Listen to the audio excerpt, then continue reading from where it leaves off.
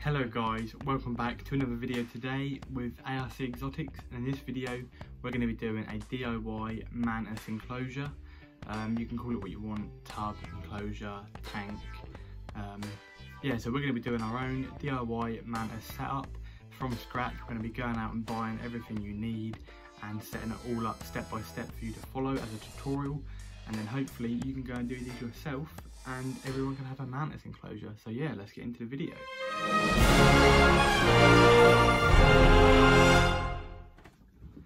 But one more thing before we do start the video, if you are a kid or a child watching this video, make sure that everything that you are doing, i.e. using tools, sharp objects, power tools, saws, stuff like that, make sure you've got full permission and you are supervised because they can be very dangerous.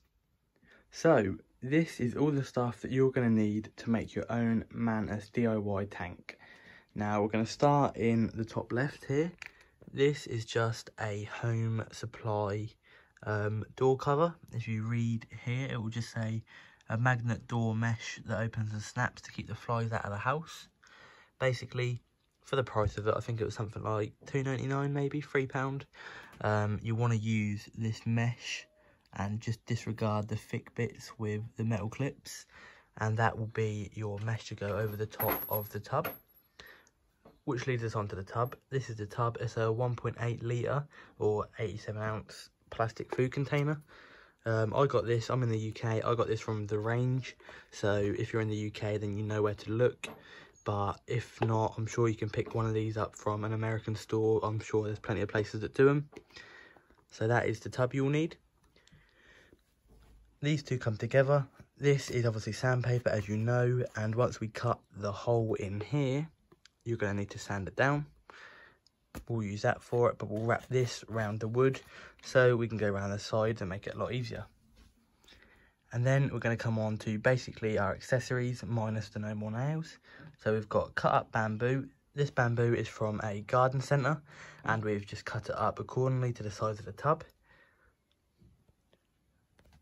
here we've got no more nails and this is the liquid gel form one not the sticker one.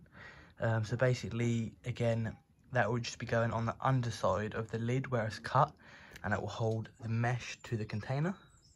So that is a must. It's about five pound but it does do the job really well.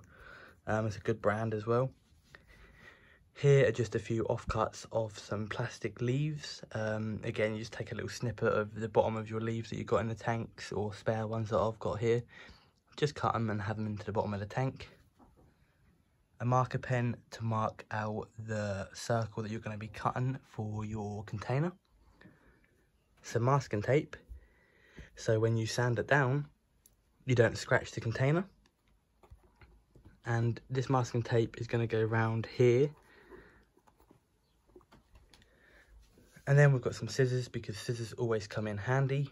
Um, again, cutting masking tape and bits and bobs like that. Cutting the mesh as well, mainly. Um, and then we've got some dirt here as well, which obviously you'll need to go into the bottom of the tank once it's complete. Now, when it comes to making a hole in here, these specific lock, lock and lock classic tubs are good because as you can see, they've already got a circle indented in them as you can see there. So I tend to follow that line and then it leaves a little bit extra here to stick the no more nails to. So if we just follow that line with the marker pen and go around that, the best way for most people to do it is with this little thing here. This is a multi-tool, so you'll basically plug it into the mains, switch this little switch on, and this doesn't move at all, it just vibrates and when it vibrates you apply pressure from holding it down which then makes the crack and cut and it will then follow it round with you guiding it all the way around here as neat as possible. Now I'm lucky enough to have a multi-tool. Um, if you haven't got a multi-tool which I assume most people haven't then these are your best methods. So this is off a little tiny hacksaw. It's quite blunt but it's just for demonstration this is a drill piece. So this needs to go into the drill. You'll need to drill through here a couple of times. You don't want to keep doing that because it might split it. Do it a couple of times. obviously take the lid off, then put this through there and continue to saw round into a circle. But today we're going to be doing it with the multi-purpose tool because it is much easier. Now this isn't actually mine, I've borrowed it, but it is much easier for doing these. Once all of this is done, if it will focus, then you should have, obviously this is a smaller size, but you should have a little tub like this with bamboo, mesh and everything you need in it. So let's get in to step number one. Now, the next thing you're going to want to do is put masking tape around this part here, but cover this as well. So when you are cutting with the tool, it won't scratch it as much if you make a mistake. So what we're going to need to do, I'm going to show you one demonstration and then I'm just going to time lapse the rest. But you just need any size bit of masking tape to be able to rip off. Place it over like that and just press in the crevice. And as you press in the crevice, you're protecting this bit when you sand it down later. And you can also see the defiant line. If not, if you haven't got this line built into the tub, do it like this all the way around and just draw a line. Get a circle, something that is like, a, you know, that sort of shape and go around it. You'll find something in home like that you've got like this, for example. Put on there, draw around the inside. You've got to be creative with it when you're doing stuff like this. So just continue to do that until it is all done.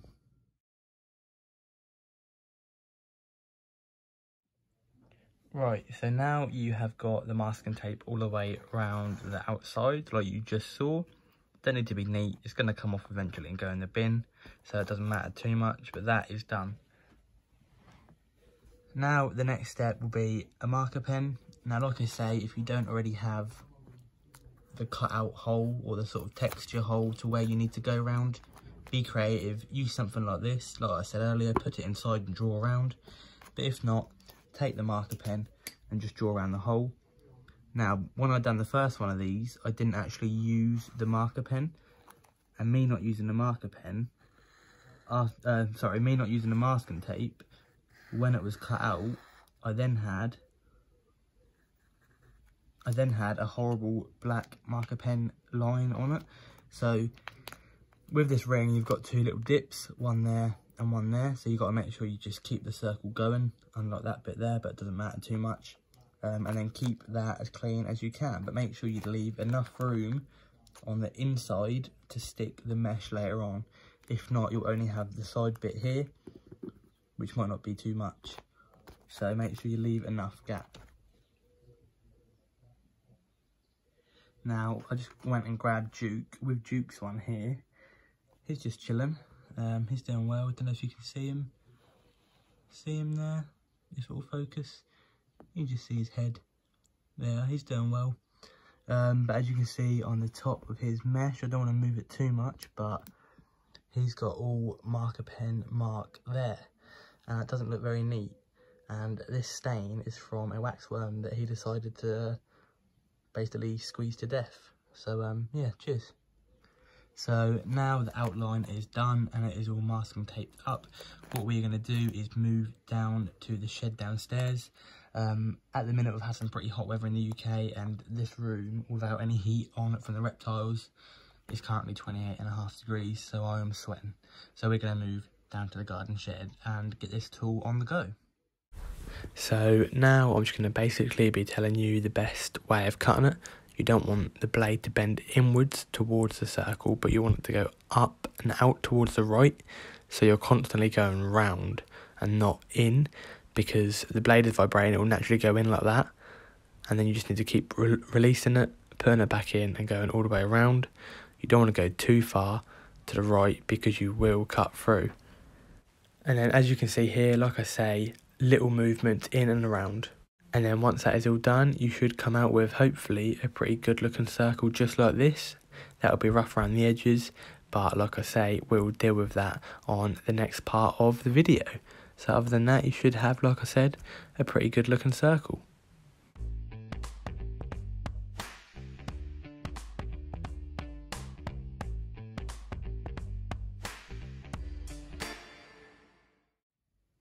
So now this is done, and cut out.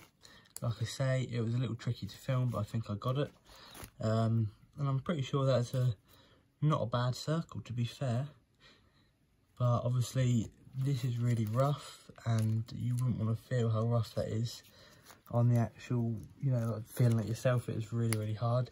You can probably go around and snap all the plastic off, but it would never come out as smooth as what you want it to. But for now, keep the tape on here because you're going to be sanding it down and you don't want to scratch the actual lid because remember, this is your setup. So you don't want to damage it. So now we're going to get into how to sand this properly. So now there is a couple of ways you can sand this. So obviously we've got the paper here, which is what I showed you earlier.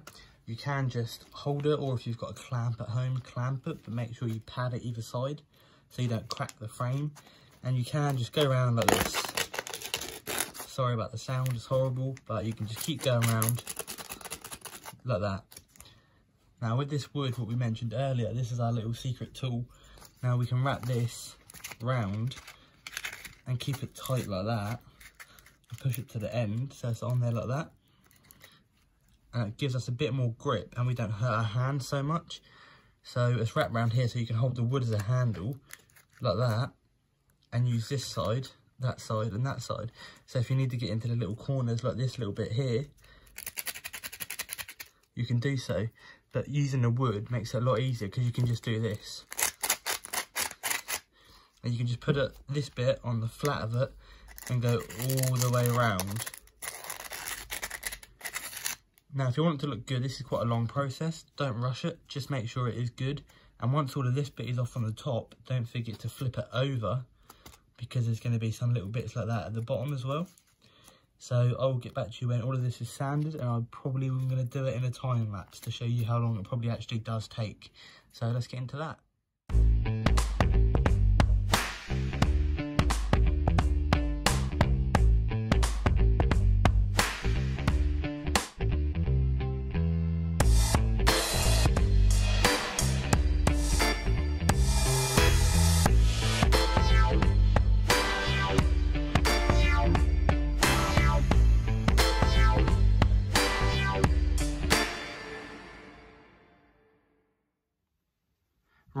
So the time lapse was just on the previous clip.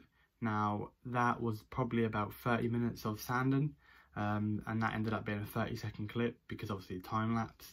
I then went on to sand it for probably another 15 minutes maybe. So obviously this is like a 45 minute job in total but if you rush it then it will come out untidy and quite scruffy. So this is something that you should definitely take your time on doing and making sure it looks sort of clean and neat like an actual product. Um, so yeah, it's just a little tip for you. Right now we've got it back upstairs. I currently have got my window open, so you might hear a bit of noise, but never mind, I'm sweating. Um, so this is it done. I just explained in the other clip, it took a little while to do. Just make sure you don't rush it. I'm now going to remove the masking tape and you can still see some rough edges. Once this is removed, you're going to want to roughly go over it again on the little bits that you have missed because there will be bits and it doesn't mean you're not very good at it. It just means the masking tape was covering them that's all. But make sure you get all of them. And obviously the circle is not perfect but it's acceptable. It's obviously a little bit shorter on that side compared to this side. But again it does the job. I'm going to be working on something to make this a complete clean circle but that will be updated in another video. Like i say it looks pretty smooth. There's little bits like there, as you can see, if it will focus. Yep. But you can run your finger around it and not get it cut, which is a good indicator that it is nice and smooth. So we'll move on to the next step. So now what we're going to do is work on the actual tub itself. We're going to leave the lid over there for the time being. Um, with the tub, obviously you get instructions somehow in case you don't know how to lock that. Um, but you just get well, it depends what tub you get, but this one's got little stickers on. Luckily enough, these are the sort of stickers that peel off in one go, and you don't have to pick out them for absolutely ages, because nobody likes doing that, and everybody's done that. I feel your pain. Um, and you watch this one not come off how it should do now. There we go, so now we have just a plain bog standard tub. Nice and simple.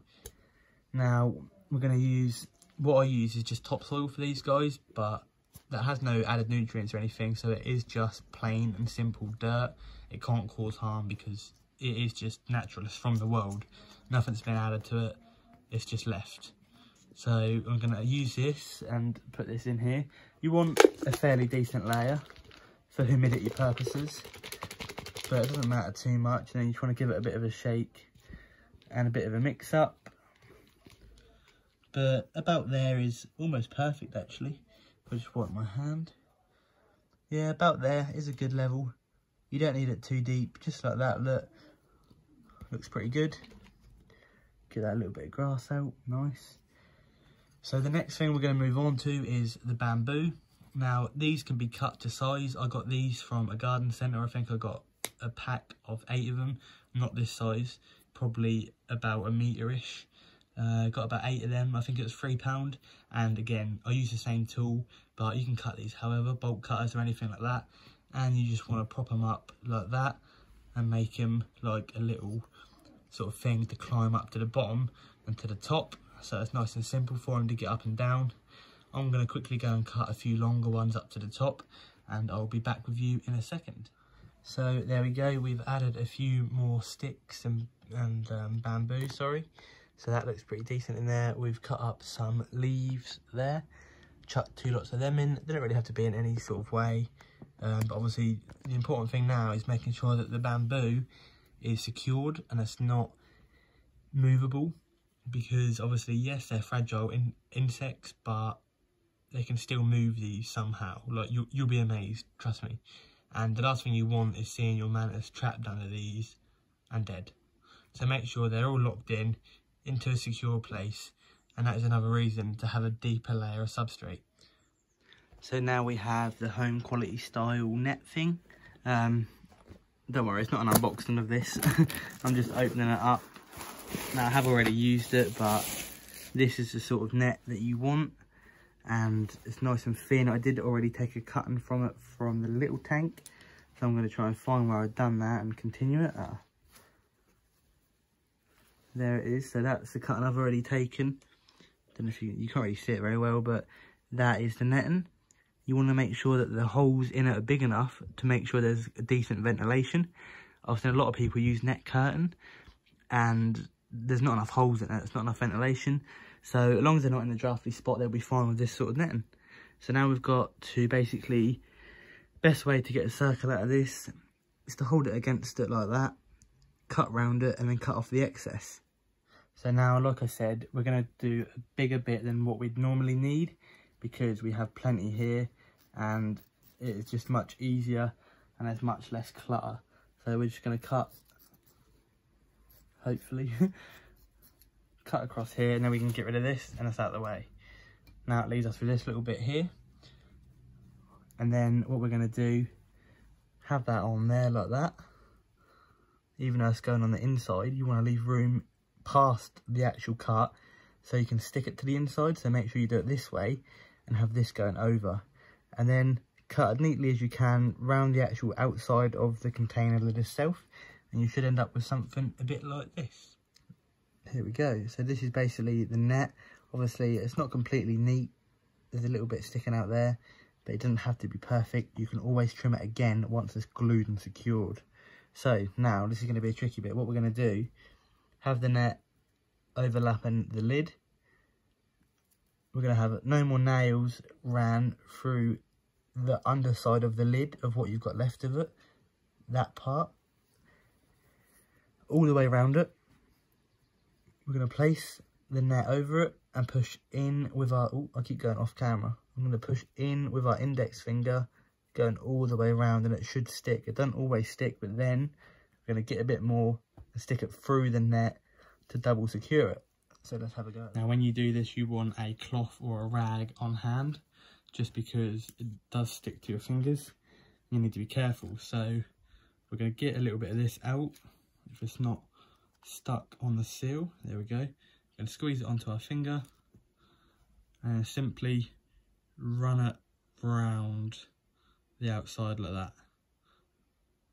Just keep running it all the way around the outside as much as you can. When you've got excess, scrape it off with your finger and keep going like that. And then just do this all the way around the container until you feel like it's covered to a good amount. Don't be scared to use too much because it will just harden up and flake off if not. So you just want to keep doing that. And like I say, try and if you can, get it on the underside of the lid and not the actual side, do you know what I mean, of the container. Get it on the actual underside of the lid itself. But this is a little bit tricky and it's even trickier to try and do it in front of camera. So excuse me if it's a bit wonky, but it will have to make do for now. Just keep continuing to do it. So I do just keep talking, but I want to run you through the whole process of this because I always watch tutorials and when they skip to next parts and that really annoys me because I like seeing exactly how they do it. So this is going to be an exact tutorial, I might even be the title, we'll have to see. But you want to do it in a decently sort of quick manner because this stuff um, soon dries up. And like I say, once you feel that there's a good amount on there, Wipe your fingers quickly before it dries up onto your fingers. Get the net. Now this is the part that really annoys me. Have it overlapping and just push round it as much as you can. Run your finger around the net and try not to create any slack on the net. And this bit is really fiddly and I'm not good at fiddly stuff. So it does annoy me quite a lot sometimes it's better to use scissors like you can see me doing because I'm a clout and my fingers are just like just anything like I can't really use them I'm a bit of an idiot. And just try and stick it round onto here. Now at first it will look like you've sort of failed and it's not stuck very well. But we'll save that later because when I first done this I was quite disappointed. And then I ended up saving it. And since then I've done exactly that all the time. So once it's like that,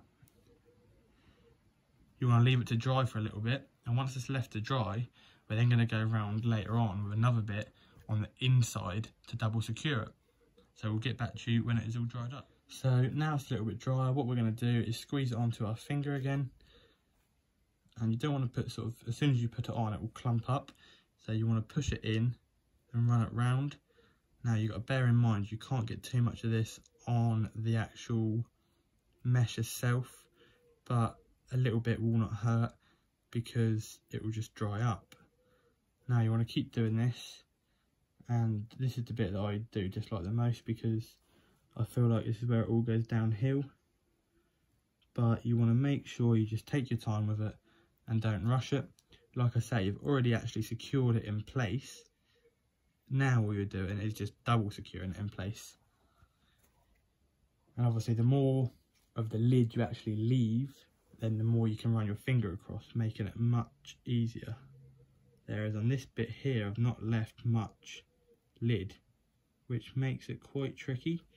But we're just going to keep going and see how it goes, because I've done all the rest of the video now. But like I say, that is an important part when you are cutting it. Make sure you do leave a good amount of the lid showing. I keep going further and further off camera. And then just push it round and go all the way around. Just keep doing that until it is all done, until you meet up to where you started again. And then just sort of push it on there, leave it on there, and push around the outside. And just keep going and going and going.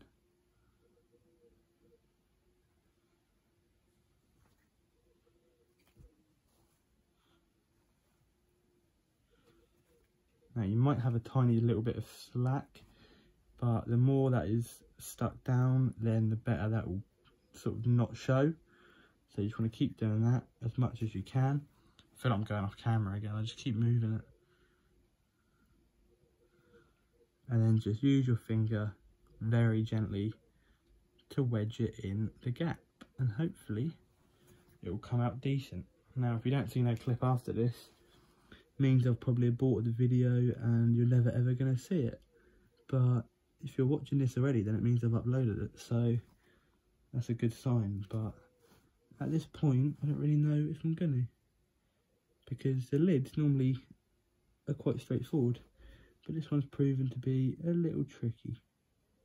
And I'm going off camera again. Right, so now that is done, all you're going to have to do again is wait to leave it to dry. Sometimes it's better to put the actual container lid on the actual container so it sort of pushes it into place and then we'll have a look when it is all dried up.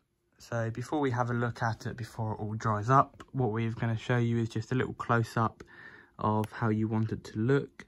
Yes, it will look messy, but this can all be sort of squared away and evened up once it is all dried up and into place. And other than that, that is...